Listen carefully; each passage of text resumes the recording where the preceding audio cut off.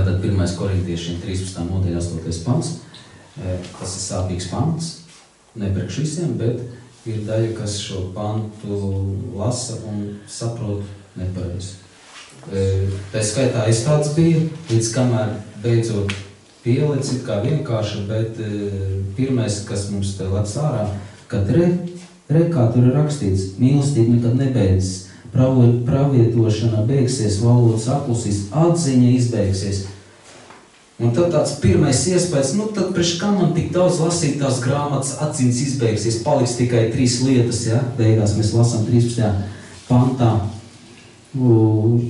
Ticība, cerība, mīlestība un lielākā ir mīlestība. Tātad pārējo ņemam nost, kādas atziņas, kādas tur, tur tās pārējās lietas, ko, nu, kas saistīts ar garīgo. Galvenais, redz, mīlestība, tas ir galvenais. Un daudzi Nu, ceru, ka nav daudz, varbūt es tāds un vēl pāris pirkstiem saskaitām cilvēku tā domā. Un sanāk, ka mēs noņemam atbildību no garīgās dzīves. A šeit iet runa vairāk par to, ka atziņa beigsies. Kāda atziņa? Tieši tas sākuma starta atziņa. Tas skait arī bauslības, ja, jo bauslība ved pie Kristus. Un šī atziņa beigsies, bet ne garīgās dzīves atziņa. Tā ir ziņā, ka Jēzus mums ir pavēlējis, tur ir tā tieši teksti, ir pavēlējis aizliet sev un ņemt krustu.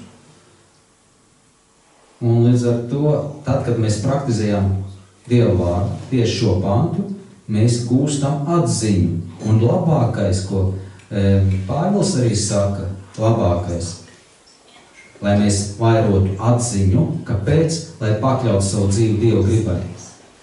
Un to izdarīt nav viegli. Pamēģini visas evaņģēliskos baušas izpildīt, un tev būs daudz jautājumi. Gan tuvākajiem, gan uz Dievu. Dievs, kāpēc? Kāpēc jāpagriež rokas, kāpēc jāmīl ienaidnieks, kāpēc mani nicina un man tomēr jāpriecājas, jā? Un ļoti daudz jautājumu būs. Es visu mūžu esmu dzīvojis tā, tagad izrādās, ka to nevajag darīt ka tagad tā nevajadzētu dzīvot, izrādās. Aizsaukt aciņas tā iestaigās, ka tu jau ir tik viegli iet šo plato ceļu. Un pamēģini laust sevi. Zin kā neticīgie saka, ka e, kaps tikai var cilvēku izmainīt. Nē, evaņģēlis var tevi izmainīt. Jā, mēs paklausām Dievam. Un šeit ar šo aciņu, kura izbeigsies, tad, kad tu ieies tēvu līmenī. Jo tad, kad tev ir atziņa, par garīgām lietām, tu sevi vairāk pakļaus Dieva gribai. Un tas nozīmē, ka tu dzīvos mīlestībā, bībeliskā mīlestībā, bez iekārēm, bez kaisles, bez baudkārēm, kaut kādām, no kā mēs esam bieži cilvēki atkarīgi. Tad izbeigsies, tāpēc, ka tu būsi tajā līmenī, tu dzīvos pārdabīgu dzīvesveidu, kad dzīves un brīnumu tevi pavadīs. Bet, lai līdz tam nonāktu, atziņa ir vajadzīga. A mums gadās, ka mēs uzreiz to atzīmējam, ka kam galvenais ir mīlestība. Un tad mēs mīlam Dievu ar visām savām iekārēm, baudkārēm. Tā ir netīra mīlestība. Netīra. Un Dievam nepieņemam. Tas ir netīrs upurs, klips, slims, netīrs upurs Dievam. Tāpēc nenovērtēsim to par zemu. Un starp citu šī nodaļā ir aprakstīts, ja, ka mēs bijām kā bērns, domājam kā bērns. Kad tu esi bērns? Kamēr tu neesi iegājis tajā pilnībā, Kristus pilnībā. Un Pāvils saka, viņš saka e, vairākās vietās paši zini, ziniet un atceraties, nu, es domāju, ka katrs ir Bībeli lasījis, ja, ka viņš saka, ņemiet piemēru no mums, kā mēs dzenamies pēc Kristus. No mums ņemiet piemēru. Kādā ziņā? Kā aizliedz sevi? Tieši tā. Ņemt piemēru, kādā veidā aizliegt sev un krustu dzīvi praktizēt. Pāvils saka, ņemiet piemēru no mums, nevis no bērniem, nevis no jauniešiem, bet no tēviem. Ņemiet piemēru. Līdz ar to tā atziņa ir vajadzīga, lai tu sev pakļautu Dievu gribai, lai tu dzīvotu šo pārdevīgo dzīvi, lai tu dzīvotu šo garīgo dzīvi, kas ir izteikti evaņģēliskos boškos, kas ir arī Dieva griba. Tas ir par šo pantu. Nenovērtēsim to par, par mazu, ja? Jo ir tendence, un tā ātri izlasa, Nu, re, galvenais ir mīlestība. Un visi skrien mīlēt Dievu. Un Dievs saka, stopē, es tevi nepazīstu. Kas tāds esi? Un daudzi tajā dienā cīnīsies iet Dieva valstībā un nevarēs. Kāpēc? Nevarēs. Tieši tāpēc, ka nav pakļaujušies Dieva gribai, kas ir izteikti evaņģēliskos baušļus, un to ir ļoti grūti izdarīt bez atziņas. Jo tad, kad mēs pakļaujam savu dzīvi Dieva gribai, tā ir tā mīlestība, tīra, šķīsta, bezvainīga mīlestība uz Dievu. A, mums jau gribās uzreiz mīlēt. Apsolījumus salasamies, kas nav priekš tevis, tāpēc, ka tu nedzīvo pēc Dieva gribas. Un ja tu nedzīvo pēc Dieva gribas, tie apsolījumi nav priekš tevis. Es mazliet ieskrējos, labi, šo pantu liksim malā. Man bija tēma vairāk par, nu tāds akcents vairāk par bauslību. Jo es pieļauju, ka mēs daudz lietas zinām par bauslību, esam daudz dievkalpojumus dzirdējuši par bauslību. Un it kā, ko tur vairs runā. Bet vēl vienreiz, gribu, lai tas fundaments ir skaidrs un saprotams attiecībā par bauslību jo farizēji arī pildīja bauslību. Un ir šis pants, kas ir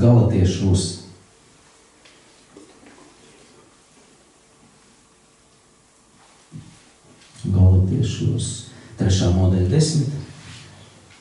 Proti visi, kas dzīvo bauslības darbos, ja citā tulkumē rakstīts, visi, kas nostiprinās, pamatojās bauslības darbos, ir zem lāsta Un atkal viens no sāpīgiem pantiem, ja pavērš lasa, hopā, mums ir brīvdienas. Nekādu bauslību nevajag pildīt. Un tā kā prasa pagaidā, tad mēs turpinām grēkot? Nē, nē, nē, nē. Parasti saka, nē, nē. A, ko, kā savienot šo pantu ar mūsu dzīvi? Un cilvēkiem te ir bieži vien sarežģījums, galvās sarežģījums. Un, lai mums nebūtu šādas eh, sarežģījumus, gribu mazliet paskaidrot par šo te, par bauslību.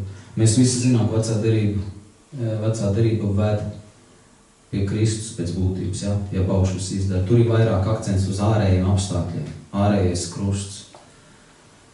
Un neuzmanīgs lasītājs vai tāds, kas ir ļoti, ļoti patmīlīgs, kas sevi mīlē, viņš pildīs baušļus, bet nelikumīgi, kā Bībele saka. Pildīt, bil, mums baušļi ir jāpilda likumīgi. Ja? Un nelikumīgi tas nozīmē baušļu pildīšanu, kā to darīja farizēji. Ārēji viss bija smuki, nekādas rūpīgi pārkāpumi nebija, nekādi nāves grēki nebija. Viss bija smuki un viss bija tik smuki, ka viņam jau tur e, izveidojās visādi veidi rituāli. Un pie tam ir bībeliski, bībeliski. Tur taču tā rakstīts, un, un veidojās arī svētki, plus vēl vecā derībā ir daudz svētki, bet pēc dzīves izpratnes. It kā liekas, viņi bija speciālisti farizējā par bauslību, bet e, atstājot iekšējo dzīvi. Un tāpēc Dievs saka, man ir riebi jūsu upuri, riebi jūsu svētki, un starp citu mūsdienās cilvēki arī svin kaut kādus eh, bībeliskus svētkus, un tie var būt visdažādākie. Un ja nav šī krusta dzīve, Dievs šodien tev saka, man riebies tas, ko tu dari. Ja nav šīs krusta dzīves, ja nav sevis pakļaušana Dieva gribai, tad neiet runa, cik tev veiksmīgi izdodas, cik nē. Te iet runa par paklausību Dievam.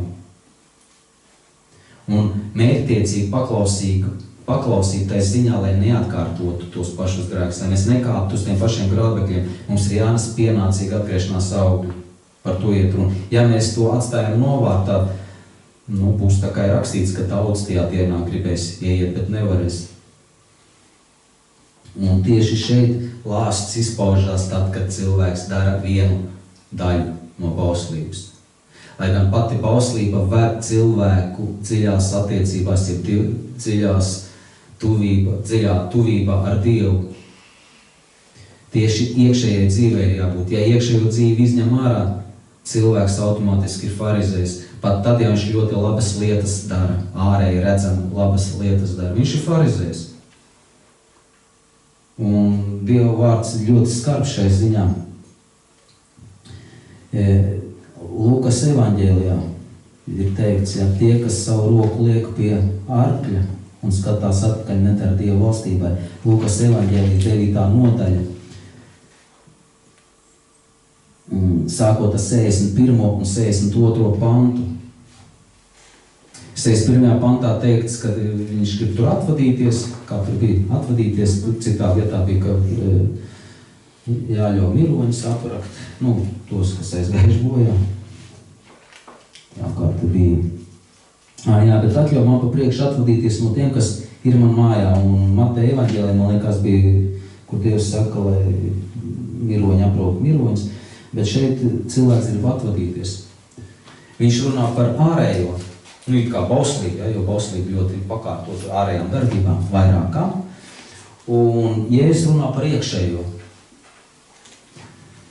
Jēzus saka, ja tu skaties atpakaļ, un mēs visi skatāmies atpakaļ uz to taciņu, kuru mēs kādreiz iestaigājam, kas nesaskan ar Dievu gribu, kaut kādi grēciņi, kaut ko fantazējam, mums gribās parasti tā, nu pēdējo reizi, ar rītdien sākšu, ar nākamo mēnešu sākšu dzīvot tā kā vajag visu šito dzīvi, šito e, ieradumu es metu malā, un, un Dievs saka, nē, šodien ir pestīšanās diena. Ja? Un parasti mēs atskatāmies atpakaļ, un Dievs saka, tāds nedara Dieva valstībai. Ja tu uzliec rokas uz arklu, tad neskaties atpakaļ, jo tāds nedara Dieva valstībai. To arī pasaka viņam. Jā, pasaka Zinter viņam arī ka tāds nedara Dieva valstībā, ja skatās atpakaļ. Un mēs parasti e, apskatām, aplūkojam savas fantāzijas, kaut kādas sadzīviskās lietas, no kuras mēs esam atkarīgi, jo tā mums ir komfortablāk dzīvot. E, nav it kā slikti, bet ja tur nav disciplīna, šī kristīgā disciplīna, tas ir slikti, tas ir par grēku pēc būtības.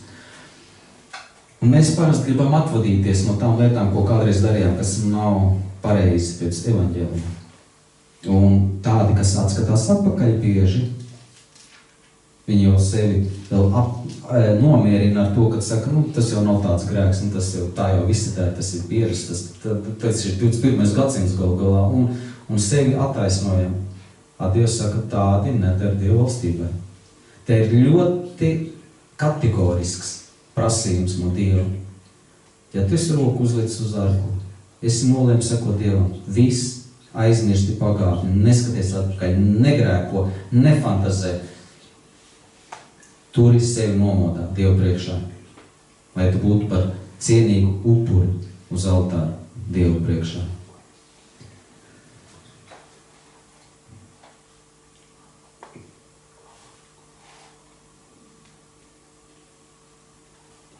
Vēl ir tāds interesants. Tā. Mateja, Mateja evaņģēlijas 12, 25, kam interesē to var atšķirt apskatīties. Ja es saku, ikviena valsts, kur iekšēji ir naids, ja nesaskaņas aiziet bojā, iekšēji. Un visiem mūsu cilvēkiem, neatkarīgi ticīgs, neticīgs, ir šis naids. Un Dievs, un tas ir apsolījums, aizies, tādi cilvēki aizies bojā. Interesanti. Mums jau gribās tos apsolījumus tāds brīnišķīgs, tīkams ausim, lai Dievs runā tāds apsolījums, kas tiešām patīk, kas, kas uzmudrina. Te ir apsolījums nesaskaņas, kas ir iekšēji, iekšēji naidā, tāda valsts nepastāvēs un aizies bojā.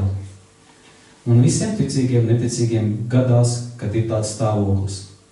Kāpēc nesaskaņas? Ja dvēsele brēc pēc svētas dzīves, pēc taisnības, pēc miera, Kristus miera, bet mēs cilvēki nezināšanas dēļ ignorējam atziņu, kura izbeigsies kaut kad, ja? Nu, mēs tā kā sevi attaisnojam visā principā. Mēs to ignorējam, un mums ir šis naids dvēselē ar mūsu rīcībām. Es zinu, ka es nošķiru, jo Dieva vārds jau principā kā apusējis griezīgs zobens. Un tad, kad cilvēks grēko, domās, darbos, viņš ir naidā ar savu dvēseli, automatiski naidā, jo dvēseli mirdama mirst un nevar nomirt tā kā. Jo viņa nomirst fiziski kā izpausme, jā, bet garīgi viņa arī nenomirs, un tā ir tā mocība. Elle viena no daudzajām mocībām. Ir tam mirst un nevar nomirt. Un Dieva vārds apsola, ka, tāda, ka tāds cilvēks aizies bojā. Tātad vesela aizies bojā. jo ir nesaskaņas, jo dvēseli neatbilst Dieva standartiem, jo dvēseli ir radīta Dieva svētumam, viņa ir radīta svēta Dieva taisnībai, viņai ir normālais stāvoklis dzīvot svēti, jebkuram cilvēkam normāls stāvoklis ir dzīvot svēti. Un ja mūsu dvēselē ienāk grēks, tā ir nesaskaņa, un Dievs ir apsolījis, ka tāda um, valstība nepastāvēs. Šī iekšējā pasaule, cilvēki krīt depresijās, bez iemesla liekas bieži vien. Patiesībā iemesls ir grēks. E, kaut kādas distonijas, tā modernā slimība. Viņi nevar pastāvēt, jo dvēseli pretojās. A mēs to ignorējam. Tāpēc, ka ignorējam ticību, ignorējam evaņģēliju, gadās, ka tā ir. Ja? Kāds, kāds varbūt domā, ka viņš jau ir uz šaurā ceļa. Viņš pat nav sācis praktizēt krustu dzīvi. Un cilvēks domā, ka, nu kā, nu es jau baznīcu eju, viss ir labi. Un viņām liekas, ka viņš jau ir šaurā ceļa. Tā, diemžēl, gadās cilvēkiem. Lai gan Lūkas evaņģēlīja 13. nodaļa, Lūkas evaņģēlīja 13. nodaļa, es apsolīju, ka mums tas ir jāatšķir obligāti vaļā. 24. pants ir rakstīts, cīnieties, ieiet pa šauriem vārtiem, jo es jums saku, daudzi vēlēsies ieiet, bet nevarēs. Bet es pantīnu noskaitīju, es pieņemu ies par savu glābēju.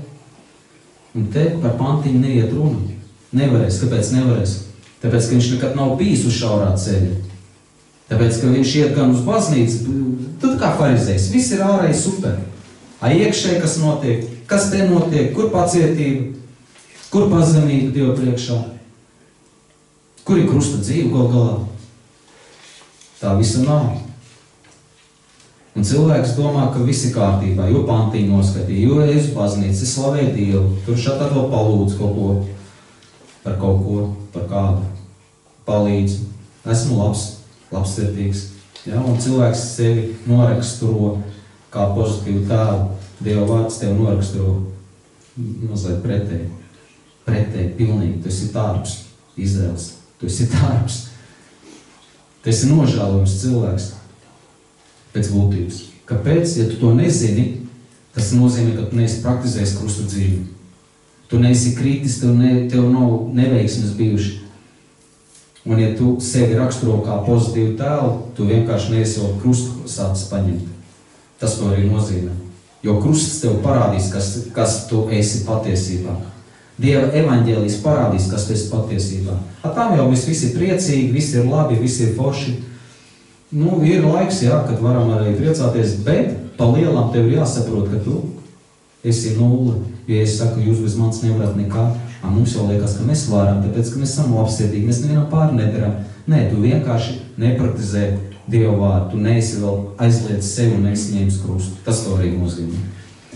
Un lai nebūtu vilšanās, ja es saku, cīnieties, ap pantiņš, es jau esmu piedzimis Dieva valstībā. Pantiņš nepalīdzēs. Interesanti, ja? Apsolījums. Tas ir apsolījums. Pantiņš nepalīdz. Kā tad tā?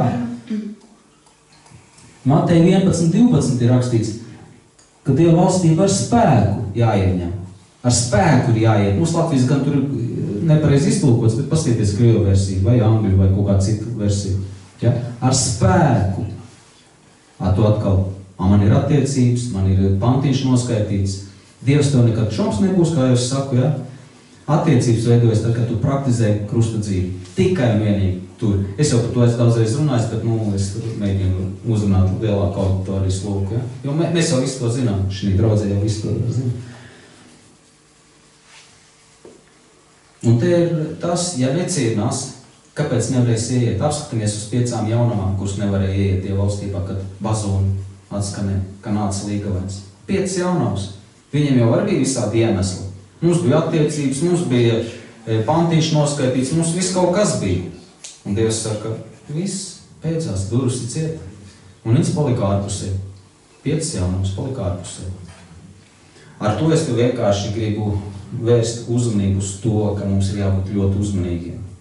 Dieva vārdu nevar tā pavirši un uz fikso, kā mums ērtāk patīk, ja, un klausīties lietas, ka, kuras mums ir tīkams. Nu, pieņemsim par apsolījumiem, ja, daudz ko varētu runāt. Bet, ticiet man, tas nav priekš cilvēkiem, kas ir nepaklausīgi. Priekš nepaklausīgiem ir cita apsolījuma. Nu, kā es te lasīju, ja? ka nevarēs iet dievvalstībā. Skaidrs, ka mums gribās, ka mēs būtu apsvētīti no visām pusēm, bet tas nav priekš tevis, ja vien tu nepaklausi Dievam visā. Ja vien tu neesi praktizējis krusta dzīvi. Un kā jau es teicu, tas, ko mēs sakrājam Dieva valstībā, tie punkti, tie bonus, man liekas, tas angļu vārds bonus, bet tie punkti, kurus mēs sakrājam Dieva valstībā, tie ir tie tikumi, par kur tu saņem salvu. Kāpēc? Tāpēc, ka tu mirdams miri, lai tikai negrēkotu, lai neaizvainotu Dievu, tu visu darīji, lai nesagrēkotu pret Dievu. Lai gan tu visu mūžu dzīvoji šādi, un tagad atnākot pie Dieva, tu saproti, ka ir daudz kas jāizmaina. Un tad, kad mēs maksājam principā, šo cenu, tā ir paklausīt Dievam, mēs pat ciešam bieži vien. Nu, ja Dievs liek mīlēt ienaidnieku, skaidrs, ka tu cietīsi. Kaut vai ārēji, ja? Bet iekšēji mēs nedusmojamies, jo ir teicis, kas dusmo, tas jau ir sagrēkojis par tuvāko. Kas dusmo, tas ir kā slepkauts, tiek pielīdzināts, ja tu sadusmojies pret kādu. Nevajag obligāti ārēji lielu ienaidnieku, varbūt sadusmojies saviem mainiekiem. Dievs saka, tu esi slepko. Skarbi, skarbi, jā. Bet, ja mēs e, pratīsim sev aizliegt, ja nomirt sev, saņem savu. Un šeit būs problēmas, kur veidojas normāls bībelisks attiecības ar Dievu. Tāpēc ir tā lūkšana, vēl vienreiz, kas varbūt aizmirs, ja? Tāpēc ir lūkšana, neived mūsu kārdināšanā, neieved mūsu kārdināšanā, bet atpestī no ļauna, no šī grēka. Un lai Dievs ir žēlīgs, ka Viņš tev pasarg maksimāli tālu no tiem grēkiem, ar kuriem tu cīnies, un tu nevari vēl uzvarēt. Un tāpēc tev reizē arī teikts, neieved mūsu kārdināšanā. Tas ir, principā, mēs lūdzam aizsardzību no Dieva. Man jau tā ir grūti, Dievs, nu palīdz kaut kā. Es negribu šo te lietu kaut kādu darīt. Es nezinu, ko, ko katrs ir atkarīgs kaut kādās lietās. Kāds no saltumiem, kāds no pirms gulēšanas, ēšanas ir atkarīgs. Es zinu, ka man tāda bija problēma. Šādi tādi iekrīt, bet nu, es cīnos, jā. Tāpēc, kad jāiet gulēt, ir nevis jāēd. Jāēd pa dienu, kaut tos piecos paēt un visu aizmirst. Pārējo, jā, ne, normāli. Lai organisms atpūšas. Liekas maza lieta, tā ka visi ēd biežot. Ne? Nu, varētu mēs attaisnot. Mēs daudz ko varam sev attaisnot, lai tikai nepakļaut uz Dieva gribai. Dievs saka, nekas nevar par tevi valdīt. Kristus ir valdnieks. Tevi, par tevi var valdīt tikai Kristus un viņa evaņģeliskie pauši. Ja kaut kas ir ārpus, tas ir tev par grēku. Patīk vai nepatīk. Un kāds teiks, bet pagaidā cilvēciskais faktors, jā, viņš arī ir. Un vēl vairāks pateikšu, lai mēs neiekrītam otrā grāvī. Visu daram saprātīgi. Saprātīgi, jā, lai nenodarītu ļaunumu savai veselībai.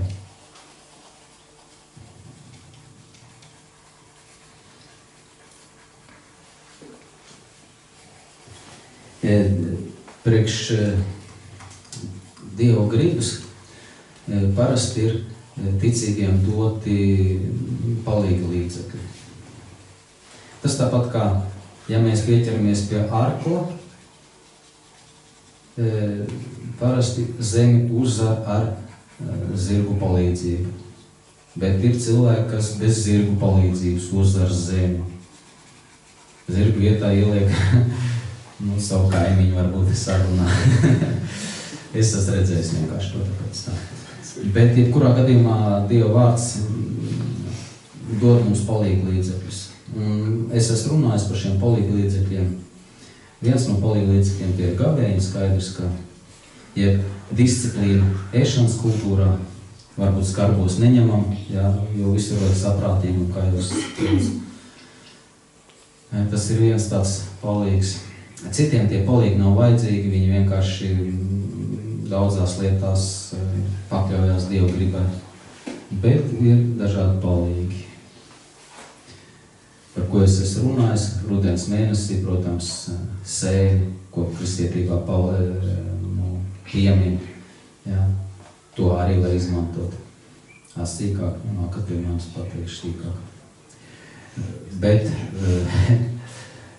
kas vēl ir kā palīgs, ir kā spīķis, lūkšanas, protams, slavēšana, lasīšana.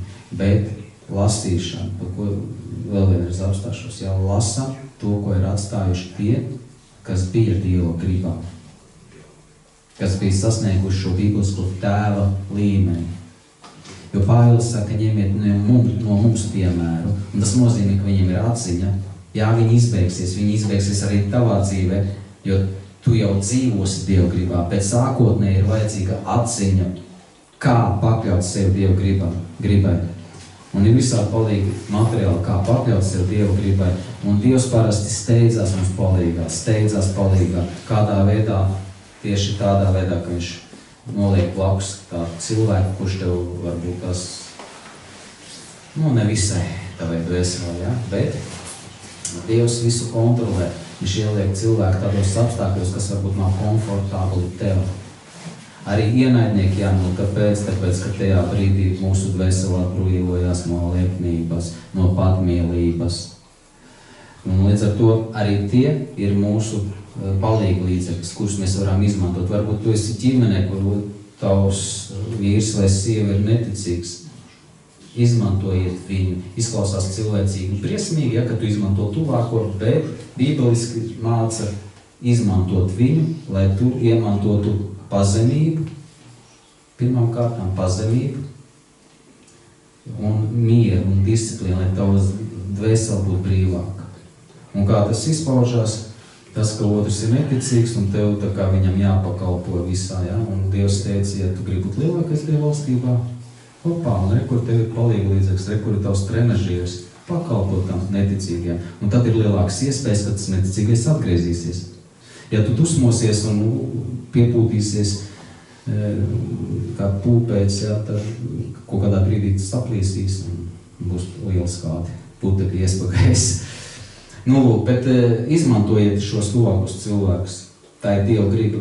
Tav, tavas dienas ir skaitītas Dieva priekšā.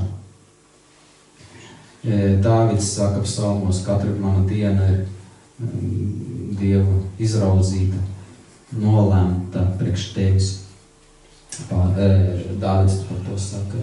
Un te, tas nav vienkārši tāpat, tie ir palīgi instrumenti, tie ir instrumenti, kas palīdz mums iemantot pazemību, nomirt pasaulē.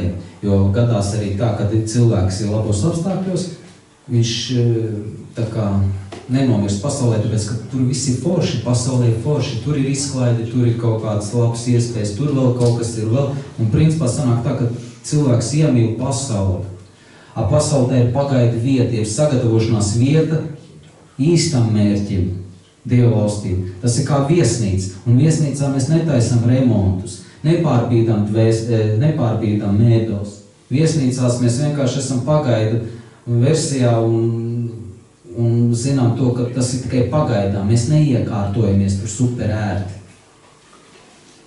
Mums gribās parasti iekārtoties, un lai tas nenotiek, tad Dievs ko dara? Viņš ieliek tev sliktos apstākļos. Un pateicies Dievam, ka viņam ir interesi uz tavu dzīvi vēl. Tas ir jāsaprot, tas ir jāierauga. Līdz ar to mums e, šie slikti apstākļi liecina vienu lietu, lai neiemīlētu pasauli. Un plus tās ir kā zāles tavai dvēselē. Es zinu, ka tas ir sāpīgi, jā, tas kaimiņš tur labāk dzīvo, tu sliktāk dzīvo, bet Dievs tevi tik stipri mīl, tāpēc, ka viņam interesē tavu dvēseli. Ā, ja garīgi skatās, varbūt tu jau nezini pa kaimiņu dvēseli to situāciju. Mēs varam tikai minēt. Varbūt Dievs viņu ir atmetis, tāpēc, ka no viņa ne silts, ne augsts, viņš vispār nu, gribās Dievam. Ja? Mēs jau nezinām. Vai arī vienkārši viņš atpūšās šodien. Arī tā viņš cietīs. Viņam būs daudz, kur daudz, kas jāpārdzīvo. Tu nevari zināt, tas ir Dievam viens zināms, kāpēc viņš dzīvo labāk nekā tu šodien. Un kāpēc viņam ir tādas dotības, ka viņš nemācās, bet viņam viss labs atzīmes, ka tu te mocies, tu mācies, mācies, tev galva kā spaiņas, tev kūp, tu grūti, un tu mācies, un tu knapi tu to līmeni, tur to. Tu jau tu nezini. Dievs tā ir izdomās, un Dievs, mēs zinām vienu, viņš grib, lai cilvēkam būtu maksimāli labi. Nevis tik daudz ārēji, kā iekšēji, dvēseliski. Vēl vienreiz pastāstīšu tādu gadījumu. Bija divi ticīgi cilvēki, viņiem piedzima bērns, slims, ar šizofrēniju. Un nu, protams, bērns dzīvo ar zālēm, lieto zāles, viņš ir mierīgs, palīdz vecākiem, ļoti labs, sirdīgs cilvēks, un no malas liekas, kā tad tā, kā tad tā Dievs viņu tā, it kā Dievs būtu vainīgs kaut kur, ja? Un, nu, vecākiem no vienas puses bija miers un kārtība, nekāda stresa, no otras puses ir bēdīgi, ka viņš izslims. Viņam uz zālēm jāatcerā. Un tā, tā bija vecāki. Viņi ļoti sirsnīgi lūdza Dievu, ļoti lūdza Dievu un izlūdza to, ka viņš atveseļojās. Bet tas puisīts aizgāja pasaulē. Viņam piesaistīja šis pasaules spožums, uzmanību spēcīgi piesaistīja, lai gan auga ticīgu ģimenē. Sāk lietot nikotīnu, alkoholu un notika vēl jaunāk. Vienkārši es gribu, lai mēs šo eh, situāciju vienmēr atceramies, lai mums nav tā, ka mēs skatāmies uz to tuvāko, kas tā viņam, viņam tur viss, viss ir bumbās, kā saka, ja? mēs jau nezinām neviens, kā tā tur ar tiem tuvākiem ir. Dievs saka, neskaties apakaļ, ja tu uzliek rokas uz ārklu, tad uz priekšu, neskaties apakaļ un Tava, tavs uzmanības centrs ir eh, ticības dzīve. Tā vajadzētu būt Kristus ticības dzīve. Un tas vienkārši liecina arī to, kas ir rakstīts eh, evaņģēlijā, kur Dievs saka, kas tad ir vieglāk pateikt, vai tavu grēku piedot, vai tomēr ņem gultu un ej mājās. Dievam tas maksā dzīvību, lai tavu grēku būtu piedot. Un no vienas puses izskatās pat necilvēcīgi, ka Dievam rūp tikai dvēseli. A kā to a miesa? Lai cieš, jā, labāk, lai viņi cieš, bet lai veseli nenokļūst ellē. Tāpēc evaņģēli izskatās. Pat neticīgs cilvēks, kurš atmet kaut kāds nāves grēks, viņam ir labāk, pat ja viņš netic Dievam, tāpēc, ka viņš nebūs ēlas epicentrā. Viņš būs kaut kur ēlas maliņā. Nu, ja viņš nomirst bez Dieva, ja viņam ticība nav vajadzīga, ja viņam nav vajadzīgs Dievs, jā. Jebkurā gadījumā viņam ir labāk, ka viņš ir tālāk no nāves grēkiem lai gan Eli ir Eli, tur nekā laba vispār nav, bet Dievs pat līdz šī, šiem, šīm smalkām lietām viņš pievērš uzmanību. Viņš pat neticīgos mēģina apturēt maksimāli no tumsas, no, no ļauna ceļa. Neatkarīgi tic vai viņš netic. Te iedomājieties, kāds mums ir Dievs, mums ticīgiem, lai viņam tagad vairs neusticētos. Tikai tāpēc, ka tavu miesa cieš, tikai tāpēc, ka tu sliktākos apstākļos esi. Nu, tā, es mēģinu izprovocēt, padomāt par ticības lietām. Ka es ceru, ka tas varbūt dos, teiksim, tādu mm, paļaušanos lielāku uz Dievu, neatkarīgi no apstākļiem, neatkarīgi kādos tur neskos sēdi, sliktos apstākļos, neatkarīgi no tā, lai mēs paļautos, tāpēc, ka bieži vien gadās, ka mēs aizmirstam, ka visi mūsu mati ir skaitīti. Bieži tā gadās. To mēs aizmirstam. Vēl es te solīju vēl vienu pāntu apskatīties. Mēs neapskatījām galtiešiem 3, 10, ja? Nē, to mēs apskatījāmies, bija vēl viens pāns. Tā. Filipiešus laikam neapskatījāmies. Filipiešiem 3, 5, 7. Te ir tas es te iesāku par bauslību, ka Pāvils, viņš dzīvoja saskaņā ar bauslību, tikai bez tās dziļās izpratnes, jo bauslībai vajadzētu būt tā, kas ved pie Kristus, nevis kas nogalina Kristu, ja mēs redzam pie farizējiem. Un Pāvils te min, ka viņš astoņu dienu vecumā apgraizīts, no Izraela tautas Benimīna cils, ebrejas no ebrejiem, bauslības lietās farizēs, bet savā dedzībā vajāja draudzi. Bauslībā viņš bija nevainojams. Ja izņem no bauslības Kristu, jo bauslība principā ved uz Kristu, ja šo izņem un tu mēģini paklausīt bausliem, baušļiem, protams, tu esi uzreiz zem lāsta automātiski. Un par to ir diezgan daudz rakstīts lai mums ir skaidrība, ka bauslība ir laba lieta tikai tajā brīdī, ja tu viņu um, ar viņas palīdzību tu pakļaus sev Dieva gribai. Ja ir savādāk, tikai bauslības pēc tu izpildi bauslību, tad tam nav jēgas, es uzreiz automātiski zem lāstu. Un pateicoties Kristus upurim, mūsu nepilnības, tā kā mēs pakļaujamies Dieva gribai, e, mūsu nepilnības tiek piedotas. Ja vien mēs atgriežamies no grēkiem un nesam atgriešanās augļus. Ja mēs nenesam atgriešanās augļus, ka mums, ja mums nav šī iekšējā garīgā dzīve, uzreiz ir automātiski zem bauslības, tad, jā, tad jā, tā labāk ne, nu, nepildīt bauslību, jebkurā gadījumā. Bet Dieva vārds atkal māca atgriezties no pasaules, no grēkiem. Abauslība ir tā lieta, kas mūs no, nošķir no pasaules. Bet te ir problēma, ka cilvēki tālāk pa bauslību netika.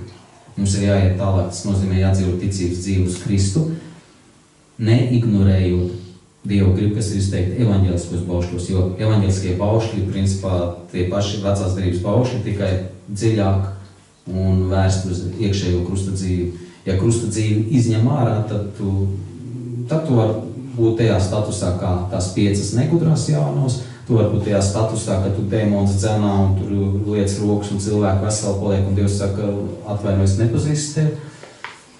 Ja, tā kā, lai te mums ir skaidrība, un Pāvils Viņš ar savu dzīvi parādīja, ko nozīmē neiziet tālāk, nepieņemt Kristu.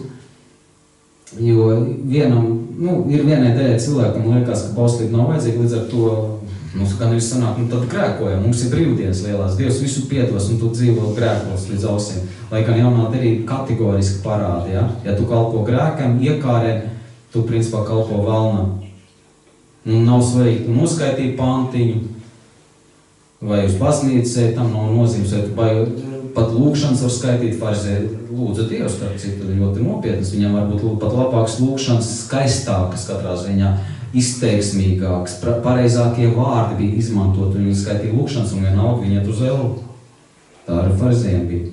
Te ir jāierauga tas, ka, ja tu nepakļaus sevi Kristus vārdiem, ja nepakļaus savu dvēseli krusta dzīvei, nu, tad tu esi zem lāsta, tu esi uzreiz automātiski pareizais tas, ko es jau no paša sākuma teicu.